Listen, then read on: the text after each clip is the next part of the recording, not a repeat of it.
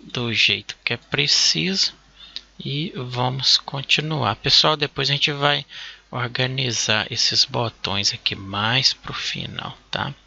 Então, tá funcionando. Vamos voltar aqui. Ok, então tá funcionando legal. Só que aqui dá para a gente melhorar esse código aqui, pessoal. Por exemplo, vamos vir aqui, ó. Se eu vim aqui, certo? Observe aqui, se eu cadastrar um novo, vamos de novo aqui, só para preencher, tá pessoal? Um, dois, três, dois, três, salva. Salvou, tá? Se eu vim deletar ele, ok? Deseja sim. usuário deletado com sucesso, ok. Eu parei ele aqui, certo? Ele ficou aqui. Então, para que ele não fique aqui, como a gente deletou, ele tem que sair daqui sem que a gente mexa aqui nesses botões, tá? Então, dá para fazer isso aí, ficar aí legal aqui. Então, o que, que eu vou fazer aqui? É simplesmente aqui pedir ele para retornar o usuário zero, que ele vai retornar primeiro, tá? Então, é só eu dizer que meu usuário atual, né? Isso, isso é igual a zero, que aí ele vai voltar para o primeiro cadastro e vamos chamar lá o nosso visualizar cadastro isso. Então, tá tranquilo aí, vou salvar, vou voltar. Tá aqui o nossos registros, tá? Vou deletar aqui no caso Rose Vamos deletar. Não, nada aconteça. Sim, vai deletar. E ele tem que pular lá para o nosso primeiro registro. Certo, perfeito. Então, se eu voltar aqui, já não tem mais Rose aqui, tá? Então, tá funcionando perfeito. Eu acho que assim fica aí mais profissional, deixa o nosso sistema com uma aparência bem legal e vamos aqui continuar aqui com o nosso projeto. Ok, antes de começar aqui, pessoal, vamos voltar aqui, deixa eu fechar tudo aqui no formulário usuário, expandir aqui um pouquinho, assim tá bom. Aqui eu vou inserir uma table, procurar aqui table, deixa eu abrir aqui um pouco, posicionar aqui, acho que assim tá legal, vou deixar aqui mesmo, vou vir aqui, aqui eu vou, bom, acho que ficou legal aqui, deixa eu visualizar, tá legal assim, fechar, vou salvar. E aqui pessoal, vamos vir aqui, logo aqui. Aqui a gente tem criado aqui os nossos métodos aqui, tá? Eu vou criar um outro aqui, private. É, vou colocar ele como default table model.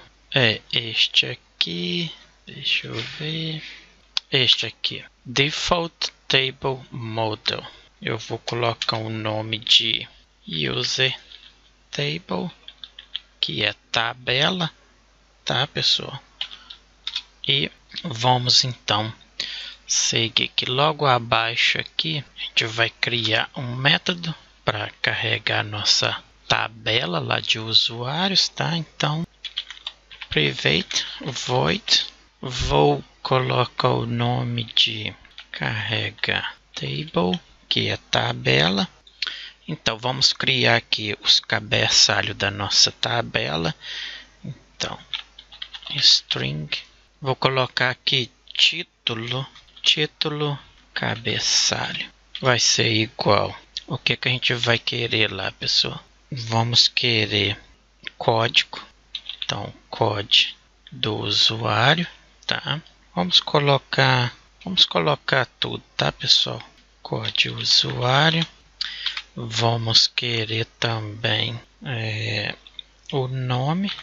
Vamos querer sobrenome. Também perfil, que se ele vai ser é, administrador ou funcionário, tá?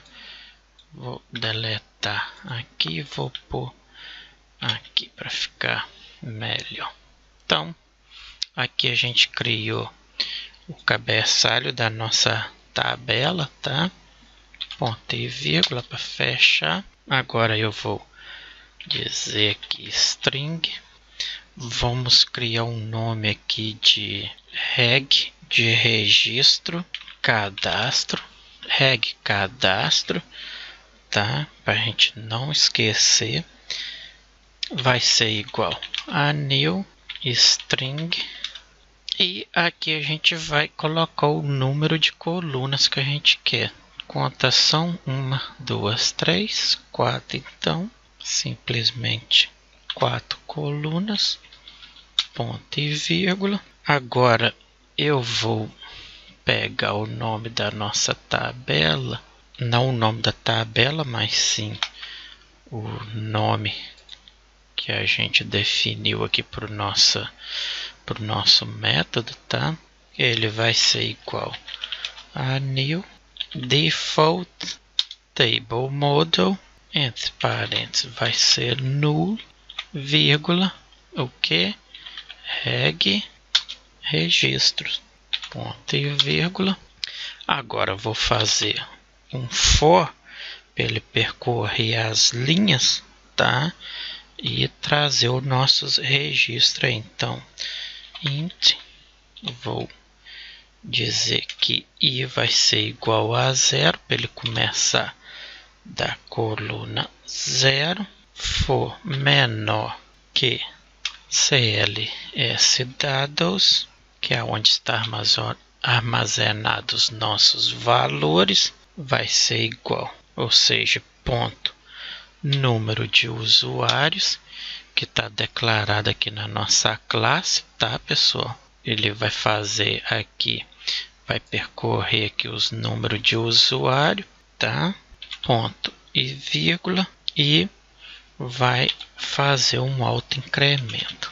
E aqui a gente vai simplesmente agora é, indicar nossas colunas. Então, reg cadastro coluna 0 vai ser igual cls dados. Ponto. Get. Usuários. A coluna. I que eu não sei que vai ser o nosso for que vai estar tá passando aí. Ponto. Get. Código usuário. Ponto e vírgula. Para salvar tempo Ctrl C. Aqui é o código do usuário. Depois vai ser get nome do usuário. Depois vai ser sobrenome e perfil. Vou apagar aqui. Este valor aqui é um valor inteiro, tá, pessoal? Então a gente vai é, transformar ele aqui no string, ou seja, a gente pode concatenar ele aqui, tá? Então, vai ser vazio e concatenar aí com o nosso perfil. Salvando. É, agora o que temos que fazer